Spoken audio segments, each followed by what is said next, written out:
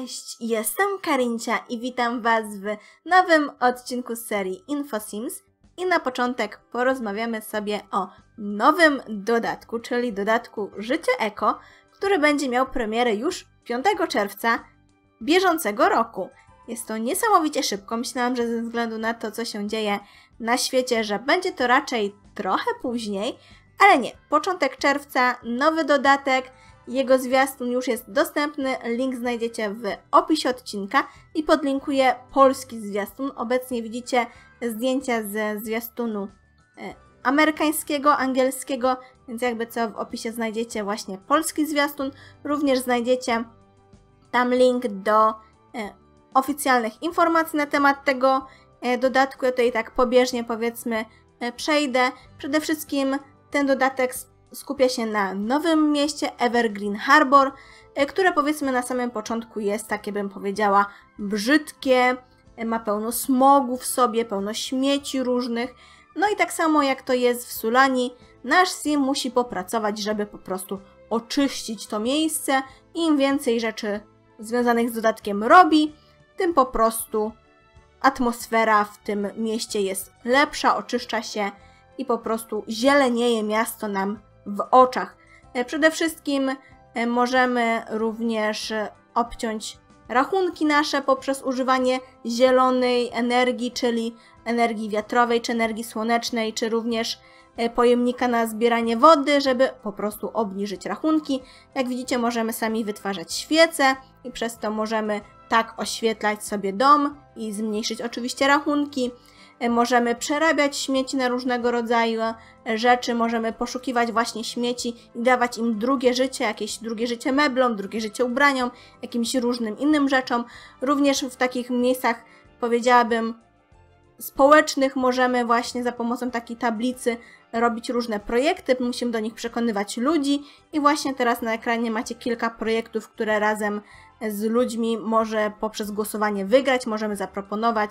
I co w takich miejscach powiedziałabym użyteczności społecznej e, jakby można robić, a więc tutaj różnego rodzaju projekty, również nawet zielony ogród, który właśnie teraz widzicie, e, można nawet zaproponować i coś takiego zrobić i dzięki temu e, powiedzmy polepszać sytuację jakby w mieście, a więc ten dodatek jest bardzo skupiony na takim bardzo eko życiu w sumie, również dodatkowo jest nowa kariera wolnego strzelca, kariera wynalazcy, gdzie możemy robić różnego rodzaju rzeczy. Na razie bardziej sprecyzowane to nie jest, ale musimy oczywiście wziąć różne zlecenia na zrobienie pewnie jakichś konkretnych rzeczy, więc to też nie jest w dodatku e, takie bardzo wolne, wolny strzelec, tylko po prostu bierzemy zlecenie i coś musimy po prostu, co nam każą wytworzyć. Jak widzicie, możemy wytworzyć również E, taką maszynę, która pochłania smog i sprawia, że po prostu wszystko jest bardziej zielone i ładniejsze.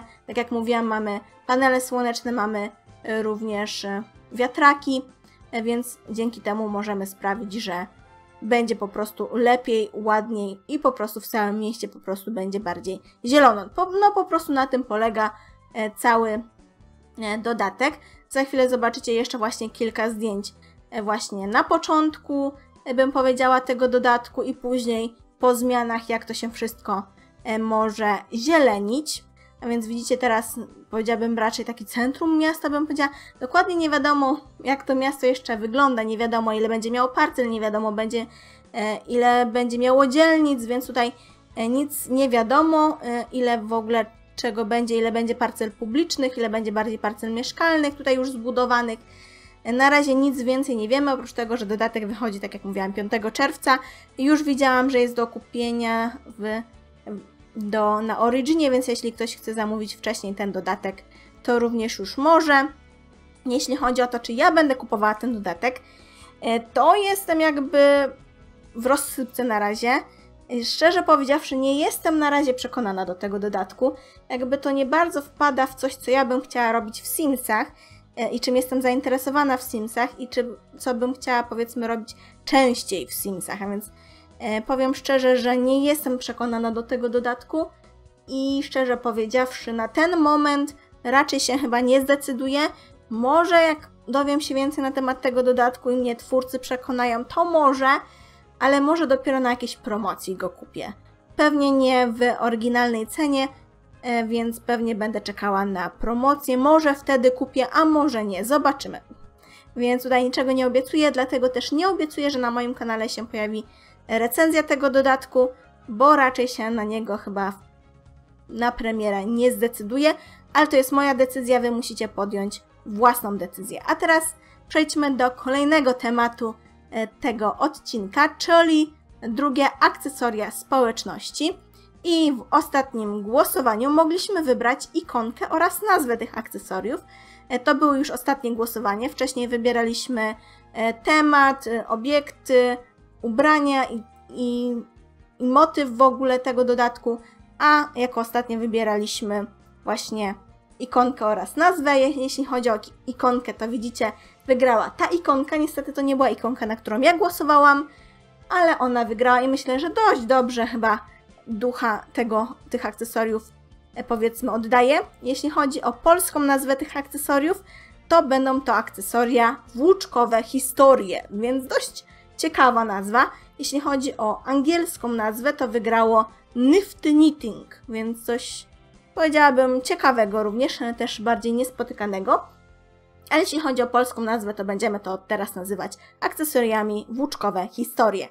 Dodatkowo twórcy wypowiedzieli się, co dojdzie w tych akcesoriach, a więc oprócz możliwości robienia na drutach i również możliwości robienia na drutach ubrań, które będą powiedzmy zablokowane w kasie na początku, możemy właśnie stworzyć ubrania dzięki temu odblokować je w kas i dzięki temu nasi simowie będą właśnie mogli nosić właśnie takie ubrania zrobione na drutach. Również dojdą dwie stacje muzyczne, stacja muzyczna skupiona oraz stacja muzyczna metalowa, więc dojdzie metal w The Sims 4 i to w akcesoriach włóczkowe historie, co jest ciekawe. I jeszcze twórcy mówili o tym, że dojdzie coś takiego jak Plopsy, czyli to będzie coś ala Etsy w naszym normalnym życiu, czyli będziemy mogli przez komputer naszym simem sprzedawać swoje rękodzieła, a więc również te włóczkowe rzeczy, które zrobimy, ale nie tylko, na przykład rzeczy, które zrobiliśmy za pomocą stolarstwa, również tam będzie można e, sprzedawać i dzięki temu będzie można sprzedawać e, nasze wytworzone rzeczy za większą cenę niż jest powiedzmy ich katalogowa e, cena, więc tutaj pewnie ta, niż ta cena bym powiedziała bez żadnej marży, więc będzie można je troszeczkę za więcej sprzedać e, simoleonów, ale trzeba uważać, bo będziemy musieli czekać na odpowiednią ofertę. Jak się ona pojawi, to wtedy możemy się zdecydować, e, czy chcemy za taką właśnie ofertę sprzedać e, ten nasz wytwór własnych rąk naszego Sima, czy raczej chcemy poczekać na lepszą ofertę. Jak się zdecydujemy na ofertę, którą teraz nasz Sim dostał, to wtedy trzeba będzie taki przedmiot wysłać za pomocą skrzynki na listy, więc to będzie troszeczkę czasochłonne i pracochłonne, E, żeby właśnie posprzedawać rzeczy. Nie będzie to aż tak proste, jak po prostu sprzedanie e, przy pomocy wyposażenia naszego SIMA. Będziemy musieli wystawić to przez komputer, później zobaczyć, jakie mamy propozycje, a później to jeszcze wysłać przez skrzynkę na listy. Więc trochę etapów na to będzie, ale podobno mamy sprzedawać za więcej simolonów niż coś jest, mówię, warte katalogowo bez żadnej marży. I to jeśli chodzi o Etsy i Plopsy i włóczkowe historie. Włączę Wam jeszcze tutaj zdjęcia z życia eko i w międzyczasie takie prywatne informacje ode mnie. E, jeśli ktoś obserwuje mnie na Facebooku, albo jeśli ktoś był na karcie społeczności, albo ogląda serię 100 dzieci, to już wie, że w sobotę 9 maja na moim kanale o godzinie 16 pojawi się mój pierwszy live e, na właśnie na YouTubie. Serdecznie zachęcam, jeśli chcecie przyjść e, i żeby właśnie ze mną, powiedzmy, na żywo na czacie porozmawiać. E, mam nadzieję, że będziemy się tam świetnie bawić. Postanowiłam, że na tym pierwszym live'ie pokażę Wam po prostu, jakie mam savey, pokażę Wam moje prywatne savey, wrócimy również do save'ów z różnych serii, jakie były, na przykład z Legacy Challenge, powrócimy sobie do tego save'a i zobaczymy, jak po tych kilku latach wygląda ten save, jak wyglądają ci simowie, jak wygląda ten dom, w którym mieszkaliśmy tak długo i jak to ma się teraz na przykład do, te, do tych nowych dodatków, czyli na przykład do czterech pór roku, do zwierzaków, czy w ogóle e, do, do innych rzeczy, których wcześniej nie było tak naprawdę, gdy te serie miały miejsce, więc serdecznie zachęcam. Będzie to po pierwsze przedstawienie moich właśnie prywatnych saveów, mojej prywatnej rozgrywki oraz taki powrót, bym powiedziała, pamięcią do tych starych e, serii, jakie były na moim kanale. Może dzięki temu e, poznacie, jakie serie robiłam i może zachęcę Was do obejrzenia czegoś przy okazji, e, podczas gdy na przykład nie macie teraz co robić, nie macie co oglądać, więc może, a dla innych sobie po prostu powspominamy stare, dobre czasy, jak to się mówiło, więc serdecznie zachęcam 9 maja o godzinie 16 na moim kanale YouTube'owym.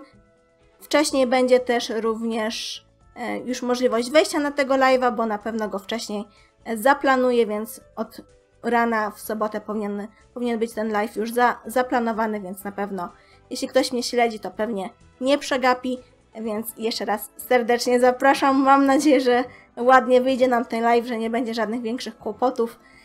No mam nieco małą tremę, więc mam nadzieję, że tam będziecie i będziecie mnie wspierać na czacie, więc jeśli chcecie ze mną powiedzmy porozmawiać na żywo, e, no to serdecznie, serdecznie zapraszam. Piszcie w komentarzach, co sądzicie o nowym dodatku Życiu Eko, e, co myślicie o nowej ikonie i o nowych nazwie akcesoriów, włóczkowe historie, czy to są rzeczy, na które głosowaliście, czy jednak mieliście może innych faworytów.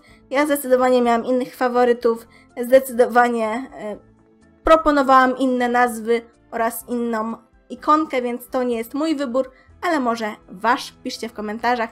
Mam nadzieję, że ten odcinek wam się podobał i zapewne o życiu eko będzie jeszcze więcej e, informacji na moim kanale, więc jak się tylko pojawią nowe informacje, to również nowy odcinek InfoSimsów na pewno się pojawi. Mam nadzieję jeszcze, że Wam się podobało. Przypominam, że cały czas na moim kanale trwa seria 100 dzieci, we wtorki oraz w soboty, e, a w czwartki trwa seria Podróżnik. Jeśli chodzi o to, kiedy pojawiają się odcinki, to w soboty o godzinie 10 jak zwykle, a we wtorki i czwartki od czasu pandemii pojawiają się odcinki o godzinie 12, więc mam nadzieję, że Wam się podobał odcinek i do usłyszenia, do zobaczenia. Susu!